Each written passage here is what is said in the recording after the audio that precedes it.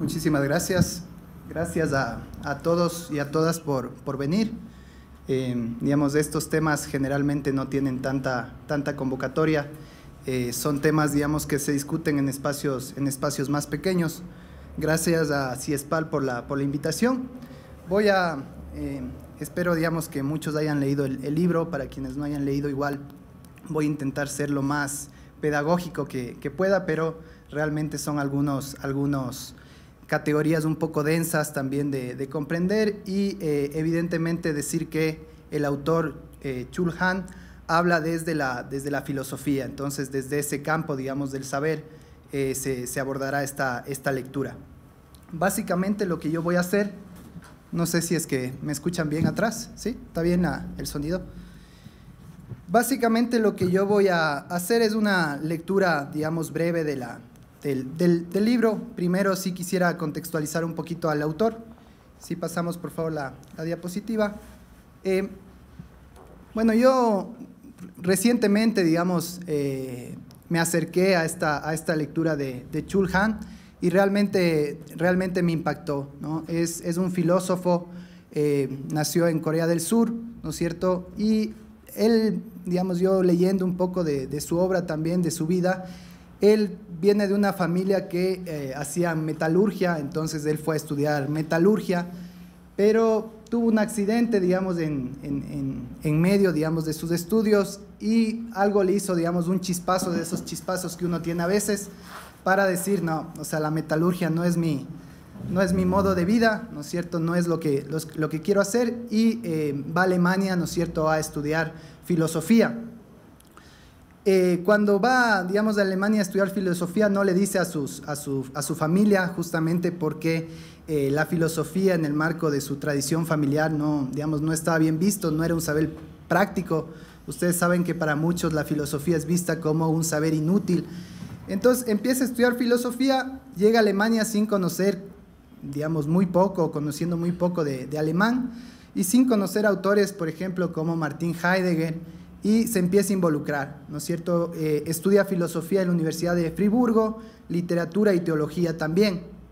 Y justamente su tesis, digamos ya de, doctorado, es una tesis en donde él analiza eh, los postulados de Martin Heidegger, eh, justamente en torno a, ustedes conocen, este es un autor muy importante de la filosofía occidental, es un autor que escribió Ser y Tiempo, y se empieza, digamos, ya a vincular con muchísima fuerza estos, a estos postulados. Actualmente Chul Han eh, es filósofo, escritor, digamos, saca este, este tipo de libros, son libros bastante cortos, bastante, digamos, fugaces, y es también profesor de filosofía y estudios culturales en la Universidad de Artes de Berlín. Digamos, ahí imparte este, este tipo de conocimientos, tiene cátedras sobre estudios culturales, sobre la cultura, sobre eh, Foucault, sobre, y, bueno, sobre todas las categorías de sus, de sus libros. Entonces, em, yo quería hacer esta introducción para quienes no conozcan, digamos, tan de cerca al autor. Es un autor, digamos, que viene de otra tradición de pensamiento que se acerca en, Alemania, a la, digamos, a la filosofía más occidental y junta, ¿no es cierto?, eh, varias, varias tendencias del, del, saber. Seguimos, por favor. Eh, este es el texto que me han pedido hoy yo que, que exponga. Básicamente es un texto vuelvo a insistir, es un texto corto, pero no necesita más, ¿no? Es decir, son alrededor de 100 páginas. En este texto es muy contundente el autor y eh, el título lleva el nombre de psicopolítica y luego, digamos, un pequeño subtítulo, neoliberalismo y nuevas técnicas del poder. Entonces, básicamente todo el esfuerzo, digamos, de este texto versa sobre eh, cómo actúa el capitalismo en su fase neoliberal, con lo que él denomina las nuevas técnicas eh, de dominación hacia el, hacia el psiquismo. Ya lo vamos a ver más adelante. Él lo que dice es, ha habido, digamos, ha habido esta fase, ¿no es cierto?, en donde Foucault decía la fase del, del, biopoder, ¿no es cierto?, hacia una fase de la psicopolítica, es decir, los poderes, el, el poder, ¿no es cierto?, en su ejercicio habitual, eh, ahora incide con mucha más fuerza en el psiquismo de lo que antes, de lo que antes ejercía. Son 13 capítulos yo he recogido en esta presentación las categorías más importantes, eh, aquellas, digamos, que nos van a dar cuenta de estas nuevas técnicas del, poder. es, es, bien interesante y aquí, digamos, yo durante mi presentación generalmente utilizo bastante también las, las imágenes, soy bastante, bastante gráfico. Él empieza su libro con esta frase que es de, un, de una artista visual, digamos que es muy conocida en los ámbitos eh, estadounidenses. Es una artista visual que generalmente proyecta sobre edificaciones, digamos, distintas frases, eh, proyecta, ilumina o también utiliza mucho eh, productos de la cultura popular. Y la frase con la que se empieza el libro es, protégeme de lo que quiero. ¿sí? Una frase, digamos, que uno empieza ya medio, medio misteriosa, entonces, ¿qué es, ese, qué es esa protección de, de, lo que quiero? ¿no? Empieza uno a preguntarse, ¿no es cierto?, cómo, cómo está operando el deseo eh, en la sociedad contemporánea, cómo opera, digamos, esto, eh, lo que quiero en el, en el, neoliberalismo y básicamente, digamos, con esta, con esta frase, lo que va a hacer es justamente una introducción a lo que hace las nuevas técnicas en el, en el psiquismo humano. Ahí tienen una, una imagen que circuló mucho en el, en el internet. Es básicamente de un fotógrafo que lo que hizo fue borrar, ¿no es cierto?, de las, de las manos, en este caso, de, parece ser la madre y la, y la hija, borrar los aparatos tecnológicos para hacernos dar cuenta, digamos, de eh, las nuevas conexiones, de los nuevos relacionamientos, incluso familiares, a través de la, de la tecnología.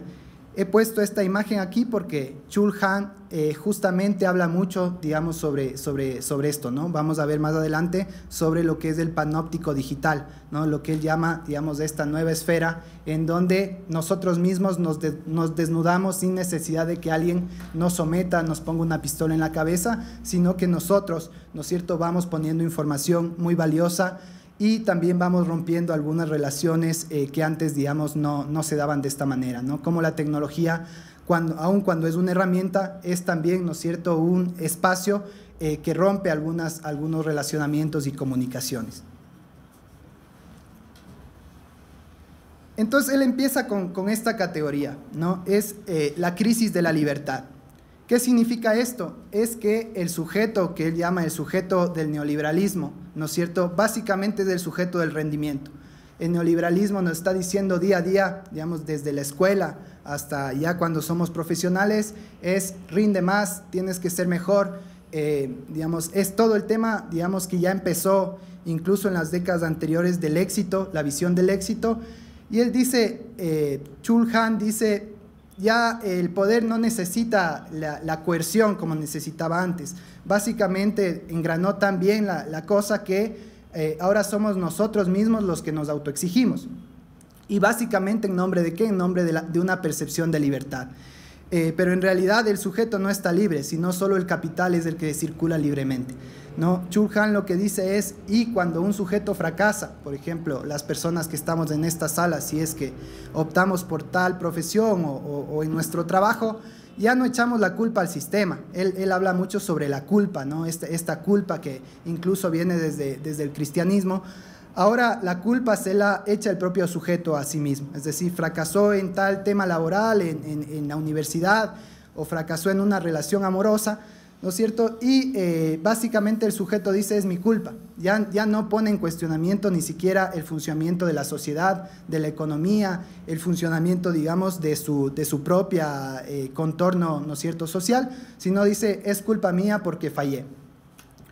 Entonces, él dice, se pasó de un poder de, grilletes, como lo podemos ver en, la, en, toda la teoría Foucaultiana, de, grilletes, digamos, de dominación del cuerpo, de biopolítica, a un capitalismo de la emoción. Él dice, la emoción es la materia prima, ¿no es cierto?, en donde el neoliberalismo convierte, ¿no es cierto?, a la, fuerza psíquica en fuerza productiva.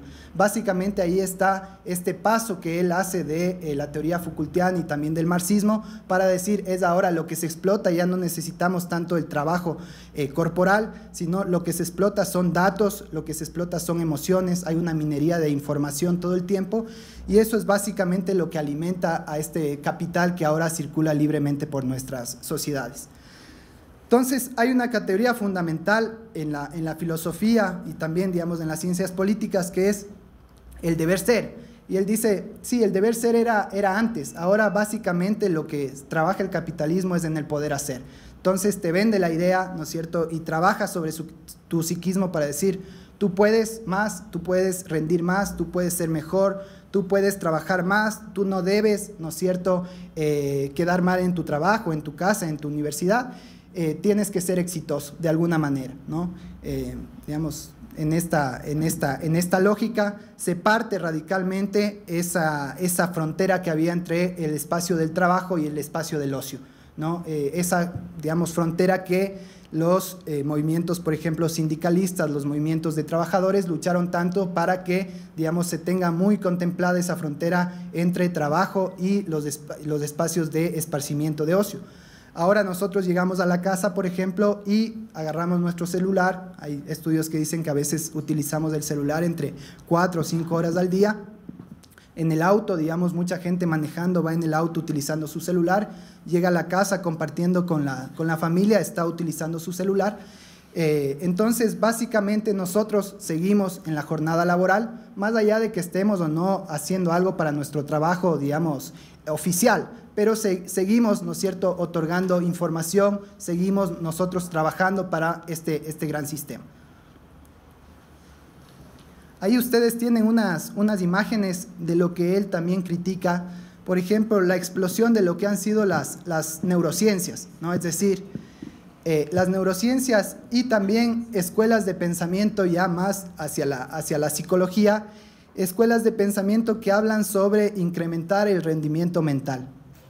¿Qué significa esto? En muchos casos significa que las personas se sometan a una serie, digamos, de experimentos o se sometan a una serie de eh, medicamentos para incrementar su capacidad mental.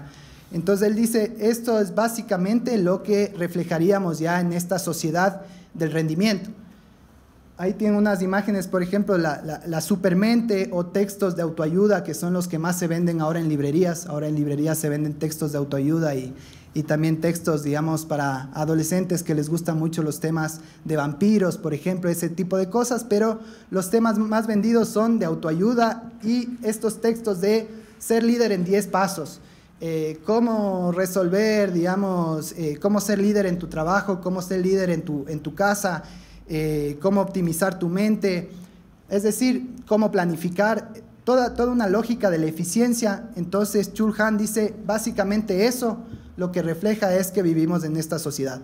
No importa cuánto vayamos a explotar al sujeto a nivel psicológico, emocional, lo que importa es que esa psicología se convierta en fuerza, en fuerza productiva. Entonces él dice la violencia ya no es una violencia de la negatividad, del prohibir, de la represión, como podrían ser en sociedades anteriores, sino básicamente es una violencia de la positividad, un imperativo de curación. Él puede ser líder, él puedes curarte, él puede rendir más y en muchos casos él tienes que rendir más, tienes que curarte, tienes que ser un líder. Básicamente es una violencia ejercida hacia, hacia todos por un sistema, digamos, que está presionando todo el tiempo con una energía muy, muy fuerte. Ustedes conocen, digamos, esta categoría del panóptico que se utilizó mucho en las, en las cárceles. Eh, el autor dice, básicamente ahora hay un panóptico digital. ¿Qué significa esto? Que todos estamos en la, en la dictadura de la transparencia, ¿no? Es decir, nos desnudamos a nosotros mismos, como habíamos dicho, eh, y todo esto, digamos, se almacena en, eh, en el Big Data, ¿no? Y él dice, el Big Data lo que hace es recoger grandes cantidades de información y luego, digamos, las personas que hayan trabajado en espacios de tecnología, el Big Data son eh, aulas gigantes, enormes, donde pasa mucha información, y luego de eso puedes microsegmentar. ¿Para qué sirve la microsegmentación? Es básicamente para saber, digamos, identificar, llegar a, unidades mínimas de comportamientos sociales.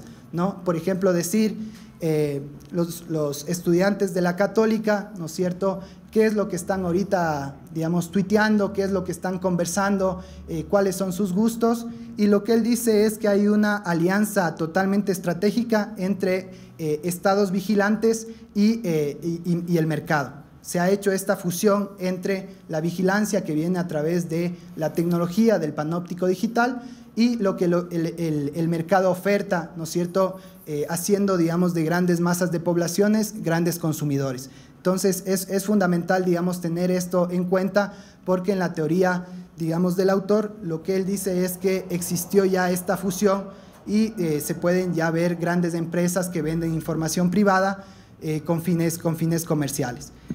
Básicamente todos los que ponemos información en distintos dispositivos, ¿no es cierto?, eh, sabemos que esa información es utilizada también para fines comerciales, para fines económicos, financieros, que obviamente lacera nuestra privacidad, pero lo hacemos por esta percepción de libertad que, que tenemos. él en, su libro recuerda esta, esta propaganda, esta, digamos, comercial, que no sé si es que muchos habrán visto, es un comercial de cuando lanzaron Macintosh en el año 1984. Esto se lanzó en grandes escenarios eh, a nivel mundial, en, el Super Bowl de Estados Unidos, y básicamente consistía en que eh, entraba, digamos, esta persona con un, ustedes pueden ver ahí es como un, martillo, y eh, en la pantalla estaba hablando el, gran hermano, ¿no es cierto?, de, la, novela de, Orwell, ¿no es cierto?, este, este gran hermano omnipresente que ocupaba todos los espacios. Y viene esta, esta persona, esta mujer, y lo que hace es entrar a la sala en donde el gran hermano estaba adoctrinando a mucha gente y lanza ese martillo a la pantalla, la, la pantalla se destroza eh, y básicamente lo que dice es eh, que introducido Macintosh, verás por qué 1984 no es como 1984. Y luego sale el logo de, digamos, de Apple. Eso básicamente lo que mostraba, digamos, en ese, en ese tiempo con, esos elementos de la publicidad, era básicamente la idea de que con la tecnología íbamos a romper la dominación del gran hermano. ¿No? Era, eh, digamos, y se mostraba también la creatividad de Apple en ese momento, pero mostrando en todo momento que la tecnología, ¿no es cierto?, el estar conectados entre todos iba a democratizar eh, la sociedad, pero básicamente lo que dice el autor es lo que ha hecho es todo lo contrario, ¿no es cierto? existe un mayor sometimiento de lo, que antes, de lo que antes había o un sometimiento diferente. Entonces, la categoría, ya entrando a la categoría conceptual de la, de la psicopolítica, eh, Chulhan argumenta que la psicopolítica es la técnica de dominación que estabiliza y reproduce el sistema dominante por medio de una programación y control psicológicos. Él lo llama una política inteligente, smart, que busca eh, agrandar el lugar, en lugar de someter. Es decir, él habla mucho y recoge algunos conceptos de la filosofía, de los conceptos de seducción. ¿no? Lo que dice es, el poder ahora seduce, ya no te reprime, ya no te golpea, ya no te lacera, lo que ahora hace es seducirte. Eh, ¿Cómo es este poder? Es prospectivo, es permisivo y es proyectivo. ¿no? Agarra mucho de los deseos, de las expectativas de la gente, de la población y los proyecta, ¿no es cierto?, hacia distintos campos, del mercado, la política. Ustedes pudieron ver en las, en las elecciones de Estados Unidos, por ejemplo, se utilizó mucho esto, la microsegmentación para llegar a cada uno de los electores de manera muy personalizada. Eh, entonces el psiquismo se convierte en fuerza productiva y acuña el, concepto del capitalismo de la emoción. La emoción es la materia prima. Eso es fundamental tenerlo en cuenta para, digamos, para entender esta, esta lectura. Y él dice, sí, antes, digamos, en las, en las sociedades antiguas, eh, en, la, monarquía, por ejemplo, era el, el, poder del soberano, en sociedades agrarias, en donde básicamente el soberano decidía sobre la vida y la muerte, ¿no es cierto?, a través de la violencia física.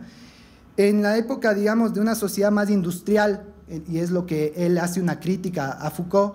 Dice, Foucault, digamos, sirvió para eh, analizar las sociedades básicamente industriales, pero eh, en ese tiempo era la biopolítica que es disciplinar al cuerpo, ¿no? La idea de la escuela, la idea de la fábrica, la idea, digamos, de los distintos dispositivos de poder para organizar el cuerpo y hacer que ese cuerpo sea productivo.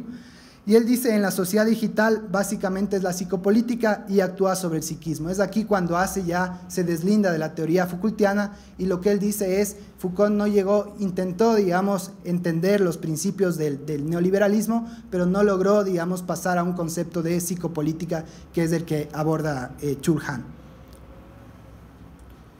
Aquí, eh, un poco decir lo que era la, biopolítica y lo que sirvieron en, las sociedades industriales, por ejemplo, lo que fue la estadística, digamos, que tanto fascinó a muchos, a muchos, a muchos autores intelectuales y a la propia sociedad, es decir, tener datos de la sociedad, tener, por ejemplo, cuántas personas eh, viven, cuántas personas mueren acá en el Ecuador, datos que antes no, no se tenían. Ese fue, digamos, también el inicio de la estadística como un tema de tener datos de la sociedad.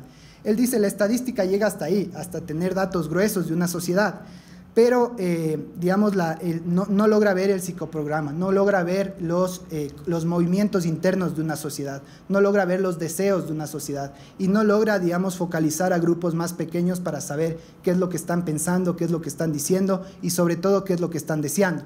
Entonces él dice, básicamente ahora lo que se tiene es una psicografía, es decir, eh, muchos datos, ¿no es cierto?, muy bien procesados en donde se tiene ya no solo estadística, sino se tiene psicografía. Esto, si lo podemos imaginar, son, digamos, ya no son barras estadísticas, sino básicamente es información cuantitativa muy personalizada que nos dice cómo está eh, pensando, qué está queriendo un grupo, determinado grupo humano. Seguimos, por favor. Bueno, ¿qué pasa ahora, digamos, porque él también, eh, aun cuando no es psicólogo, digamos, o no, no, es psicoanalista, él también se mete en la parte, digamos, eh, psíquica, justamente para intentar dar soporte a su categoría de psicopolítica. Entonces, él dice que vivimos nuevas enfermedades subjetivas. ¿Cuáles son estas enfermedades subjetivas? Si es que antes, digamos, en estas sociedades de las que yo hablé antes, básicamente el enemigo era externo, las epidemias, el virus, eh, distintos, digamos, factores externos, lo que él dice que pasa en la época neoliberal es que el enemigo es interno, ¿no? Eh, básicamente el sujeto que se explota a sí mismo lanza también una ofensiva, una introyección, en psicología se conocería como una introyección de la, eh, de la agresividad hacia sí mismo. Ya no la desfoga en el sistema, no la desfoga en otro lado, sino que la lanza hacia, hacia sí mismo. Entonces, eh, ¿esto qué produce? Él dice las enfermedades habituales, digamos, de la sociedad capitalista, de la emoción, del neoliberalismo, es la depresión. Digamos, se puede ver cómo los índices de depresión a nivel global han, aumentado considerablemente. Lo que se denomina como burnout, el agotamiento extremo, es decir, es la otra cara del rendimiento, ¿no? Cuando una persona está con ese imperativo de ser el mejor, ustedes, no sé, en sus, en sus escuelas, en sus colegios, el compañero que se exigía, se autoexigía, o la compañera que se autoexigía muchísimo, quizás por presiones familiares, etcétera, que básicamente se, los ven personas contenidas, es decir, es el ideal de, ser el mejor, ¿no? para poder subir en la escala social, para tener un buen empleo, digamos, para tener reconocimiento. Esas personas, digamos, y él dice ya en las sociedades actuales, no son poquitas, somos grandes conglomerados humanos, eh, terminan por agotarse. Es decir, toda esa energía que imprimes en un momento termina agotándote. Y es un sujeto deserotizado, ¿no? Él dice, eh, y él vincula mucho esto, el tema del, del, eros, del erotismo, dice, es un sujeto que ya no está erotizado, es un sujeto que quiere producir, ¿no? Solamente quiere producir, ya la parte del eros, digamos, del sujeto se ha ido perdiendo. Altos incrementos de suicidios, ¿no es cierto? Él mismo dice, en, en, Corea hay altos incrementos de suicidio, hay que entender también la teoría de Chul Han en base a la sociedad también que vivió. Y, por ejemplo, eh, temas como el cáncer, que para él son enfermedades del neoliberalismo. El cáncer como una introyección de toda la agresión, digamos, que el sistema imprime sobre los sujetos y que se eh, hace cuerpo, ¿no? que eh, se imprime ahora en el, en el cuerpo. recogiendo un poco la idea de, de el enemigo exterior adoptó primero la forma del lobo, luego fue una rata, se convirtió más tarde en un escarabajo y acabó siendo un virus. Hoy, sin embargo, la violencia que es inmanente al sistema neoliberal ya no destruye desde fuera del propio individuo, lo hace desde dentro y provoca depresión o cáncer. ¿no? Entonces vemos cómo el enemigo externo, digamos, que era para la sociedad en su imaginario, ¿no es cierto?, que va desde el tema de la, de la peste, diría yo, ¿no es cierto?, con toda la, incluso la literatura y, toda, digamos, la, producción académica que se hizo alrededor de eso, va desde eso que es externo, ¿no es cierto?, que amenaza al sujeto y a la sociedad, hacia la interiorización, digamos, de la enfermedad, de la emoción, que, como vimos, van desde depresión, suicidio, cáncer, eh, y hasta personas que él dice, personas que están agotadas, agotadas de vivir, agotadas de existir.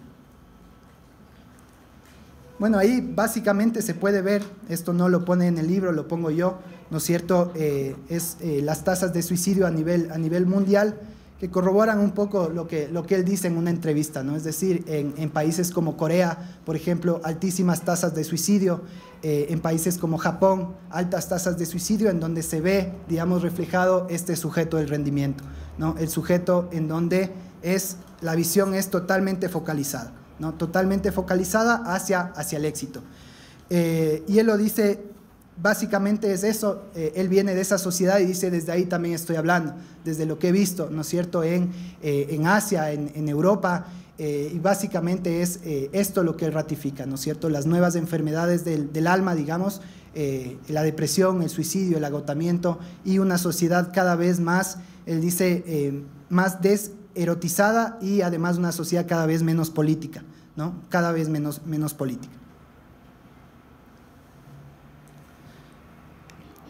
Él en una, en una entrevista también habla de esta, de esta película, que para quienes no han visto la, recomiendo que la, que la vean. Es una película que se llama Melancolía de Lars von Trier, eh, que básicamente es justamente sobre una, una persona, no les voy a contar el final para no, no dañarles, básicamente es sobre una, una persona que se llama Justine, eh, muy, muy deprimida, ¿no? O sea, incluso, digamos, eh, se, se puede ver vitalmente deprimida hasta que, digamos, aparece en, digamos, en, la, en, la, en la opinión pública que un planeta va a chocar contra el planeta Tierra. Este planeta se llama melancolía. Eh, y básicamente en ese ejercicio, digamos, de la, de la, de la alteridad, en cuando, cuando todo su círculo social se veía desesperado porque básicamente no sabían si es que el planeta va a chocar o no contra la Tierra y a destruir la, la vida humana, eh, esta persona, Justin, más bien se le ve totalmente lo contrario, alegre, ¿no es cierto? Se le ve, eh, como ustedes pueden ver ahí, ella se desnuda, digamos, en el campo y, mira este nuevo planeta. Eh, y aquí el, eh, digamos, Chulhan lo que dice es, básicamente el tema de lo que, lo que está pasando y tomando esta, esta figura de la película, lo que ha pasado en la sociedad es que se ha perdido la alteridad.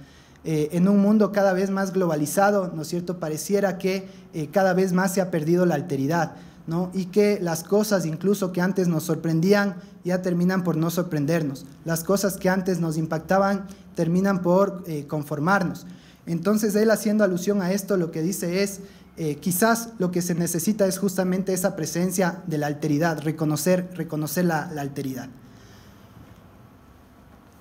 Finalmente, para, para, acabar, ya estoy aquí con el, con el tiempo contado, eh, mal haría, digamos, Chulhan en esta teoría, digamos, y él, él, mismo la reconoce que podría en muchos momentos ser un poco apocalíptica, pero él eh, mal haría en su teoría en dar recetas para resistir, digamos, de este nuevo momento, ¿no? Parecería que todo está perdido, digamos, vuelvo a insistir, como comencé la intervención, él habla desde la filosofía, no habla desde un manual, digamos, para decirnos qué hacer, no habla desde la ciencia política, no habla desde la psicología, tampoco él habla desde la filosofía.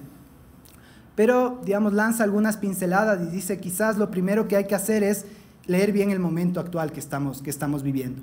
Quizás es lo fundamental.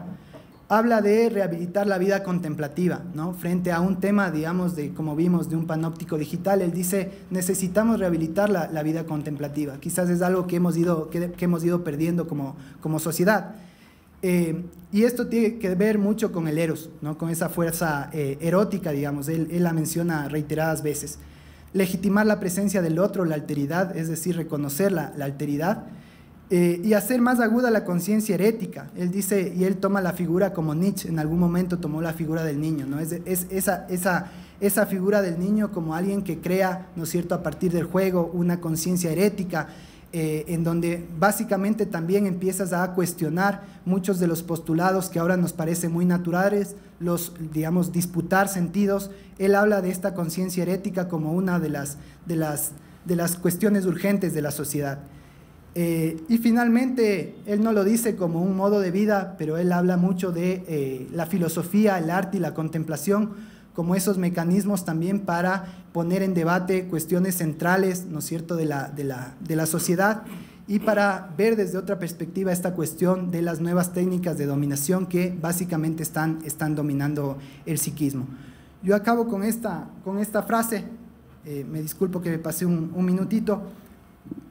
Esta, esta frase es, es, singular, pero él en su último capítulo justamente habla de los, de los idiotas. Él habla de los, de los idiotas y dice, el idiota es un hereje moderno. Herejía significa elección. El herético es quien dispone de una elección libre. Tiene el valor de desviarse de la ortodoxia. Con valentía se libera de la coacción de la conformidad. El idiota como hereje es una figura de la resistencia contra la violencia del consenso. Salva la magia del marginado. Frente a la creciente coacción a la conformidad sería hoy más urgente que nunca aguzar la conciencia herética.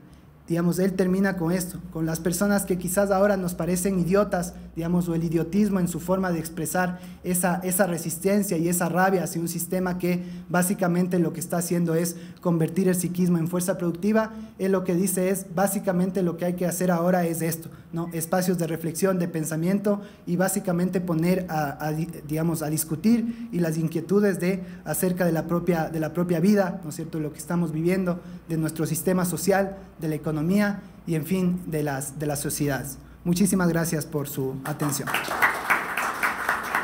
Muchas gracias, Gabriel. Muchas gracias, Nicolás.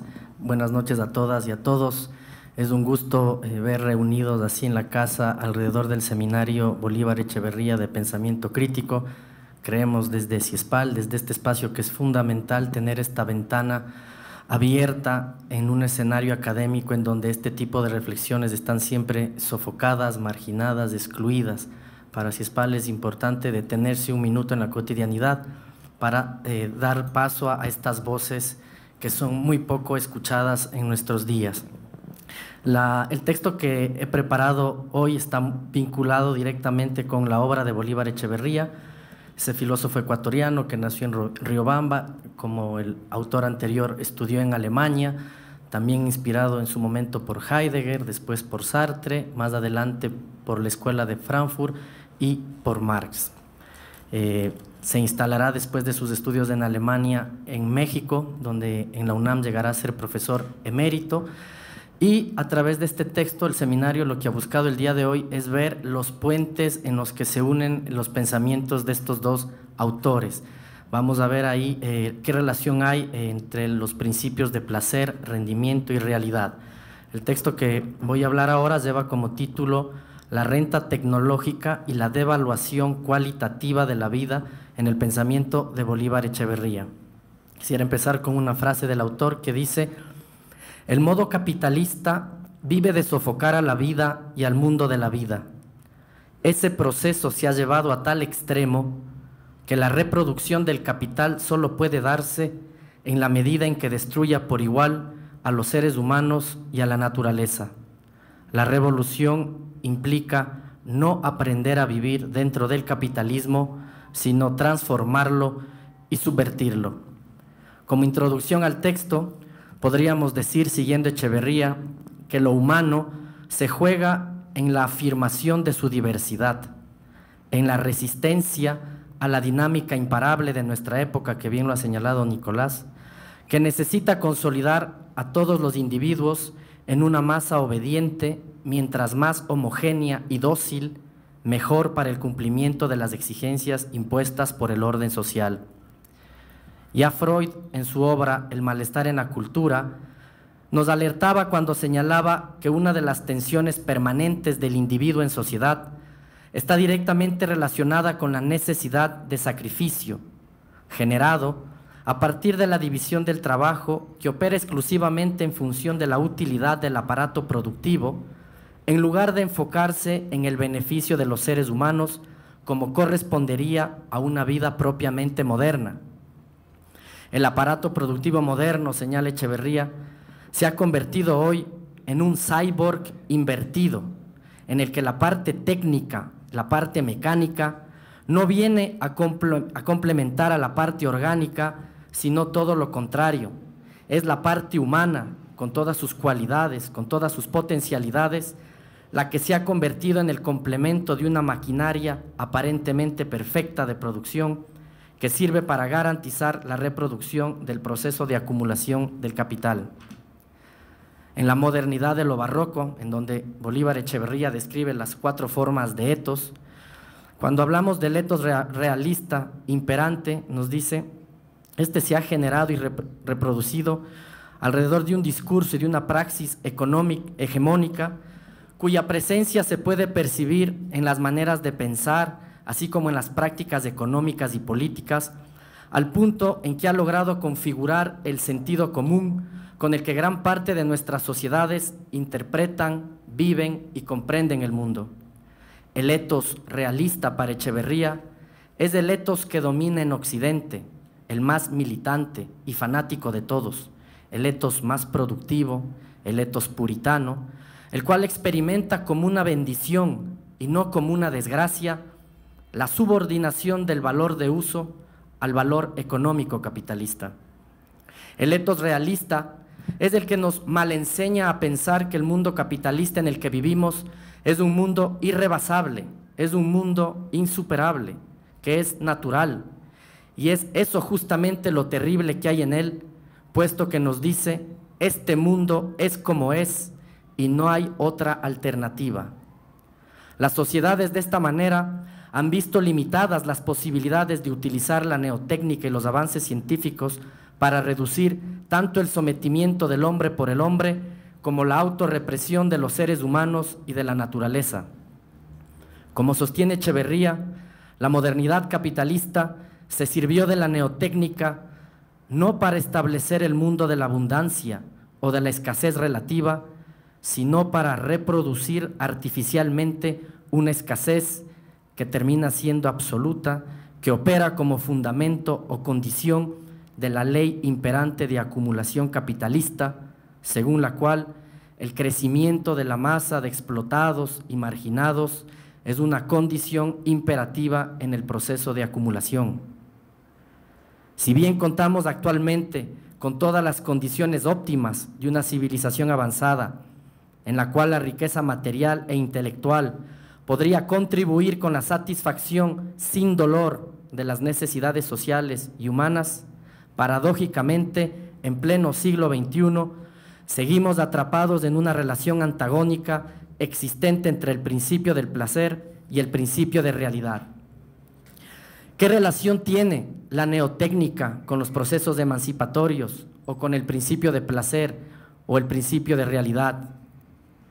En la obra de arte, en la época de su reproductibilidad técnica, Benjamin señalaba que un nuevo descubrimiento puede comprender un campo inédito y mejorado de transformaciones materiales que trae consigo nuevos valores de uso dirigidos a la satisfacción de las diferentes necesidades. A partir de la expansión y desarrollo de la neotécnica, la sociedad humana podría construir una vida civilizada sobre una base diferente, de mayor interacción y complementariedad entre el humano o entre el humano y la naturaleza. La técnica nueva, fruto de la revolución neotécnica que se inició en el siglo X, dejaba entrever por vez primera en la historia la posibilidad de que el trabajo humano no se diseñe como una arma para dominar a la naturaleza, ya sea en el propio cuerpo o en la realidad exterior. Nos planteaba la posibilidad de un desarrollo alternativo, con potenciales para liberar a los seres humanos de la opresión del trabajo, revalorizando el tiempo libre, tiempo de relacionamiento con los seres queridos, con la naturaleza, con la contemplación, actividades afines, abriendo espacios para la colaboración y la reconstrucción de otra consistencia cualitativa y concreta de la vida. Sin embargo, como ya bien lo señalaba Carlos Marx, la burguesía no puede existir y reproducirse si no es a condición de revolucionar y apropiarse infaliblemente de los diferentes instrumentos y herramientas tecnológicas que favorecen la producción. Desde esta perspectiva, la modernidad capitalista se va a desarrollar a partir de un continuo proceso de revolución de sus formas de producción como de sus procesos productivos. El empresario privado, nos dice Echeverría, al introducir innovaciones técnicas en su trabajo, sabe que puede obtener una ganancia superior a la que generan normalmente los otros empresarios con los que compite, creándose así un nuevo señorío fundado esta vez sobre la propiedad monopólica ejercida sobre la tecnología de vanguardia. La neotécnica de este modo se torna en un instrumento inaccesible para el resto de la sociedad al ser objeto de ganancias extraordinarias para los grandes capitalistas. Al no disponer de una visión de conjunto de la economía, el propietario de una nueva tecnología va a proteger y hacer un uso monopólico de ella o va a tener la capacidad de restringir el acceso y aprovechamiento al conjunto de la sociedad, ya sea para su explotación o beneficio personal, o cuando requiera comercializar su uso a otros productores, siempre y cuando estos puedan pagar por el acceso a su explotación. De esta manera, la propiedad sobre un multiplicador de productividad opera de la misma forma que un terrateniente cuando éste hace uso y explotación de las mejores tierras. Si llamamos renta de la tierra al dinero que el terrateniente recibe por el uso de la misma, podemos llamar renta tecnológica al dinero que el propietario de un bien tecnológico genera a partir de su aprovechamiento. La represión social, en gran medida automática o sistémica, va a transformar toda dominación en una forma de administración haciendo de la concentración del poder económico en pocas manos algo que parece anónimo, en donde tanto la sociedad como los individuos no tienen prácticamente ninguna posibilidad de hacer nada frente a las leyes del sistema en sí mismo. Con el surgimiento de la neotécnica, como señala Echeverría, el malestar en la cultura planteado por, por Freud se torna una imposición artificial, puesto que el dolor, la frustración, la angustia y la impotencia de los individuos en esta forma de sociedad se va a generar a partir de un sistema altamente productivista, altamente competitivo, al cual la población no tiene mayor forma de alterar o de transformar. El progreso de la modernidad capitalista, en lugar de abrir la senda de una sociabilidad cuyas pulsiones sexuales y su energía erótica permitan consolidar un nuevo tipo de relaciones entre los seres humanos y su entorno, terminó generando sociedades fragmentadas, desarraigadas, atomizadas y antieróticas. Este modo capitalista de reproducir la vida es el que finalmente va a modelar y determinar a nuestra civilización occidental. La modernidad capitalista se convirtió de esta manera en una forma de autosabotaje, nos dice Echeverría, ya que no logró generar una respuesta civilizatoria capaz de brindar la posibilidad de una relativa abundancia o emancipación para la vida humana y la naturaleza. Es por ello que en la modernidad capitalista se mantiene abierto ese espacio en el que se vislumbra siempre la utopía al interior de nuestra vida cotidiana, sobre todo con relación a esas reivindicaciones que no han podido ser actualizadas en la vida moderna, en donde ni los deseos ni la posible alteración de la realidad aparecen como una capacidad propia, puesto que son organizados por un sistema que dirige a la sociedad reprimiendo sus necesidades instintivas originales. Lo retrógrado del sistema capitalista, tanto para Marcuse como para Echeverría, no radica ni en la mecanización del sistema productivo, ni en su estandarización, tampoco en su forma de coordinación universal o sistémica, sino en el hecho de que nos ofrezca ilusorias posibilidades de libertad o de elección.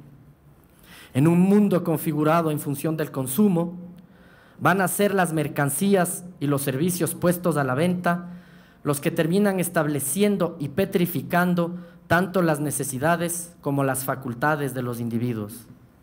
A cambio de los bienes de consumo, los individuos no van a vender únicamente su fuerza de trabajo, sino también su tiempo libre o su posibilidad de enriquecer su vida haciendo algo para sí mismos y no para unas relaciones de trabajo que se han convertido en relaciones mercantiles entre objetos intercambiables, descartables o desechables. En medio de un entorno laboral de alta flexibilidad, con terciarizaciones, con deslocalizaciones que agudizan las angustias y el malestar general, la esfera de Eros ha sido debilitada, puesto que ha terminado por imponerse la ausencia de satisfacción en la vida, así como su destructibilidad. El progreso actualmente continúa ligado a una tendencia regresiva que se manifiesta en la, en la dominación del trabajo sobre el placer, el rendimiento sobre la satisfacción, en la competencia despiadada en donde unos pocos ganan mientras muchos pierden, es decir, en la configuración de sociedades de pocos incluidos y de muchos marginados. En definitiva, como sostiene Marcuse, hablamos en pleno siglo XXI de un mundo donde prima el individualismo, la ley del más fuerte, en donde la satisfacción del yo supone la agresión contra lo otro, generándose así una relación de existencia negativa. El ser humano en pleno siglo XXI sigue siendo un esclavo de su trabajo y un enemigo de su propia satisfacción. La sociedad no tiene poder sobre el tiempo ni sobre sus procesos productivos. La represión y la frustración de esta manera sigue reafirmándose en nuestro día a día, haciendo del llamado progreso una represión progresiva. ¿Cómo se ve esta relación entre el realista o progreso, el productivismo, la represión, el principio de rendimiento o el principio de realidad? En este escenario productivista y globalizado, las libertades y las satisfacciones de los individuos son víctimas de una represión constante. Retomando el tema del malestar en la cultura, que señalaba Freud, la civilización se funda a partir del sometimiento permanente de los instintos, sobre todo de aquellos relacionados a la esfera erótica. El sacrificio sistemático del líbido, así como su canalización rigurosa hacia las actividades consideradas económicamente útiles, son las que han permitido, nos dice Freud, el desarrollo de nuestra civilización. El aumento continuo de la productividad, que en nuestra versión de sociedad es sinónimo de progreso, se ha sentado en una promesa de vida mejor que no ha hecho más que intensificar constantemente los procesos de servilismo y vasallaje. La destrucción y sometimiento del hombre por el hombre, así como de la naturaleza, se ha tornado cada vez más eficaz, haciendo de todos estos aspectos negativos de nuestra civilización y cultura la demostración plena del envejecimiento y la caducidad de nuestras instituciones. La dominación ejercida hoy por ese 1% en la esfera del capitalismo financiero se ejecuta en vista de mantener una situación de privilegios. La escasez predominante en la mayoría de las poblaciones de nuestro planeta ha sido organizada de tal forma que los productos de la sociedad no pueden ser distribuidos colectivamente en función de las necesidades y de las actividades sociales o individuales, sino únicamente a partir del poder adquisitivo. De esta manera, el principio de rendimiento, que ya hablábamos con el autor anterior y que lo señalamos nuevamente, que impera hoy en día en el etos realista, es el principio de una sociedad orientada al beneficio y la competencia en proceso de constante expansión. Presupone una larga evolución al punto de, generar sociedades estratificadas a partir de rendimientos económicos o a partir de su capacidad de competencia. Una sociedad regida por el principio de rendimiento no genera ni propicia las condiciones para que los individuos se desarrollen por sí mismos, en función de inteligencia libre o con posibilidades de independizarse, puesto que esto haría explotar tanto a la realidad en sí misma como a las barreras represivas que la hacen posible. En donde prima el principio de realidad o el etos realista, el tiempo de trabajo ocupa prácticamente gran parte de toda la existencia del individuo adulto. El placer queda suspendido o postergado en un escenario donde prima el dolor, la angustia y la competencia. Los, los instintos fundamentales que tienden hacia el predominio del placer y la ausencia del dolor van a tornarse incompatibles con el etos realista y su principio de realidad, en donde los instintos deben someterse y reprimirse. Este reemplazo del principio del placer por el principio de realidad es el que explica la configuración de nuestra civilización. ¿Cómo se manifiesta esta contradicción civilizatoria? Cuando vemos que la, la pobreza sigue reinando todavía en gran parte de nuestro planeta, radica entonces en la manera en cómo son distribuidos y utilizados los recursos. La conocida excusa de la supuesta escasez se ha ido debilitando a medida que el saber, la ciencia, la tecnología de los seres humanos se incrementa, aumentando con ello la posibilidad de satisfacer las necesidades humanas con un mínimo de esfuerzo de trabajo.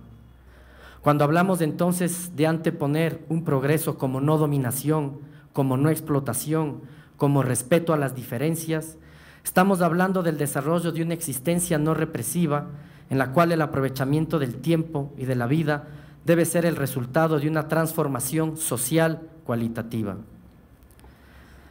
Y todo esto, nos, nos dirá Echeverría, está muy vinculado a una impotencia política, Llegados a este punto nos preguntamos, ¿por qué la modernidad capitalista resplandece bajo el signo de la desgracia triunfante?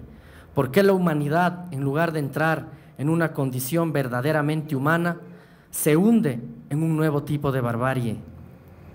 Para responder a estas interrogantes, uno de los grandes problemas de nuestro tiempo, nos dice Echeverría en su texto Por una modernidad alternativa, es que los seres humanos han perdido la capacidad de decidir sobre lo que pasa consigo mismo, es decir, han cedido su capacidad política ante una fuerza que parece irrebasable y que figura como una forma de destino que él llama el etos realista.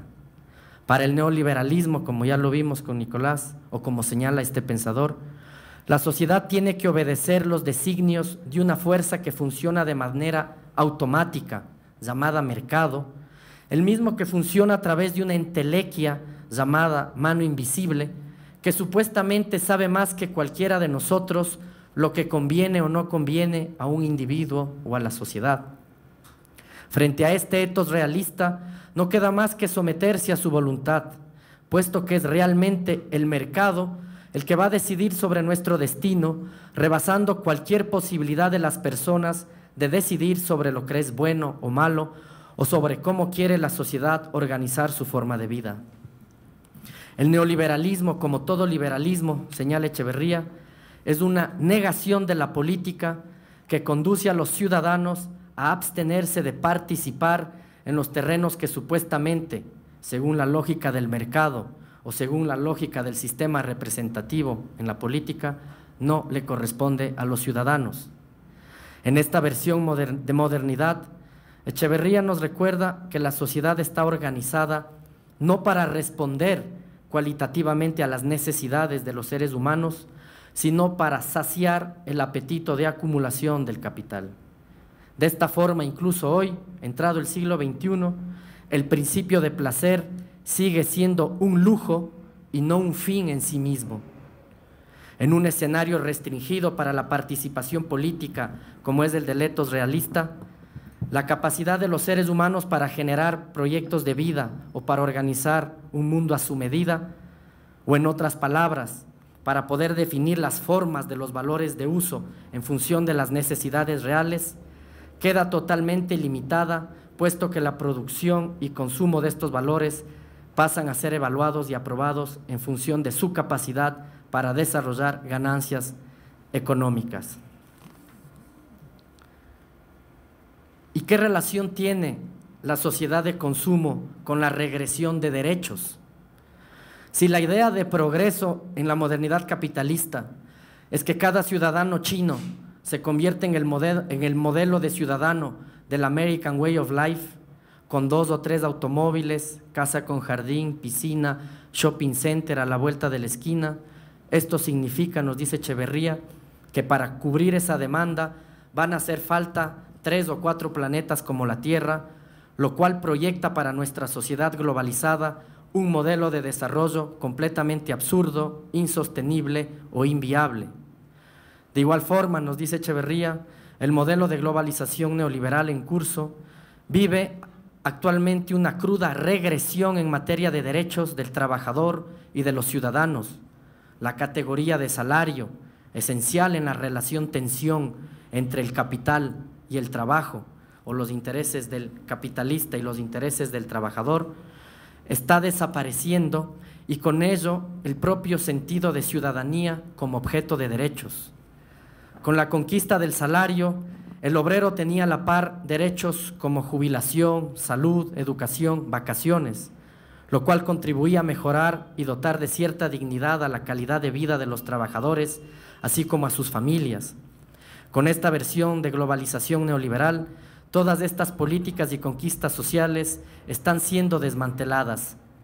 En este estilo de vida o modo capitalista de actualizar la modernidad, este modo capitalista de actualizar la modernidad, nos conduce al mismo tiempo a una crisis social, puesto que niega a las grandes mayorías su promesa de abundancia, así como la posibilidad de garantizar su sobrevivencia, reproduciendo un modelo de sociedad a dos velocidades, entre excluidos y marginados, y aquellos pequeños sectores acomodados que habitan ciertos islotes o barrios restringidos donde se puede encontrar una abundancia y emancipación relativa.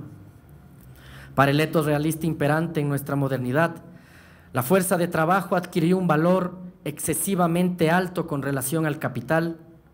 Los obreros y trabajadores se tornan muy costosos para el proceso de acumulación acelerado que exige el neoliberalismo dinámica que se contrapone de lleno con los derechos conquistados por los trabajadores y los ciudadanos a lo largo del tiempo. De esta forma, el principio de acumulación por desposesión propio del capitalismo sigue promoviendo una campaña agresiva que incita tanto a la desvalorización de la fuerza del trabajo como a las privatizaciones en todos los campos de la vida.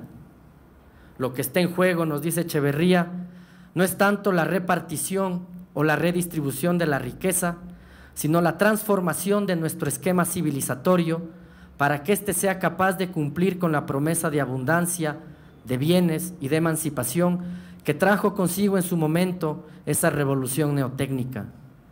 Los seres humanos, en tanto que sujetos y no objetos, nos dice Echeverría en conexión con Jean-Paul Sartre, solo pueden existir en la medida en que se inventan a sí mismos, en la medida en que pueden elegir entre distintas posibilidades, en la medida en que pueden volcarse al mundo para transformarlo, para hacer que los objetos del mundo de la vida sigan como están o pasen a un estado diferente, probablemente mejor.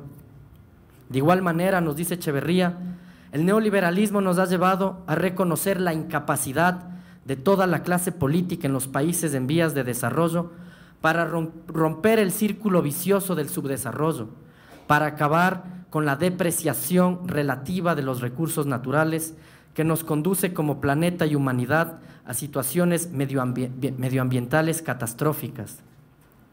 Como países en vías de desarrollo, seguimos atados a una acumulación que gira en torno a la renta de la tierra, cediendo gran parte de nuestra soberanía sobre los recursos naturales, en lugar de apuntalar una posible renta tecnológica y del conocimiento que por ahora se encuentra supeditada a los países llamados céntricos o del norte.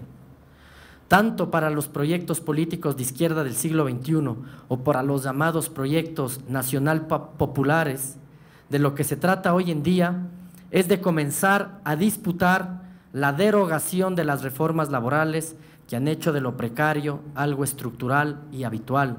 De lo que se trata es de disputar todo ese poder que se le ha dado al empresariado en detrimento de los asalariados y de los trabajadores. De lo que se trata es de lograr unas reformas fiscales que equilibren los impuestos, cobrando más al capital que a los trabajadores, para que se generen los ingresos suficientes para asegurar la inversión social, así como para activar y sostener la inversión pública. De lo que se trata hoy en día es de poner a trabajar las tecnologías y los saberes en función de la vida de los seres humanos, es decir, alcanzar una, una reforma energética que limite el poder de los oligopolios de las energías tóxicas para contribuir de esta manera en la lucha contra el cambio climático. Empezar a dar estas batallas es trazar ya, de cierta manera, un nuevo camino hacia otro tipo de modernidad, puesto que en una civilización avanzada, como nos recuerda Marcuse, la riqueza material e intelectual debe contribuir a la satisfacción sin dolor de las necesidades, evitando que las energías libidinosas sean retiradas de las relaciones humanas con el fin de consagrarlas a las relaciones de producción.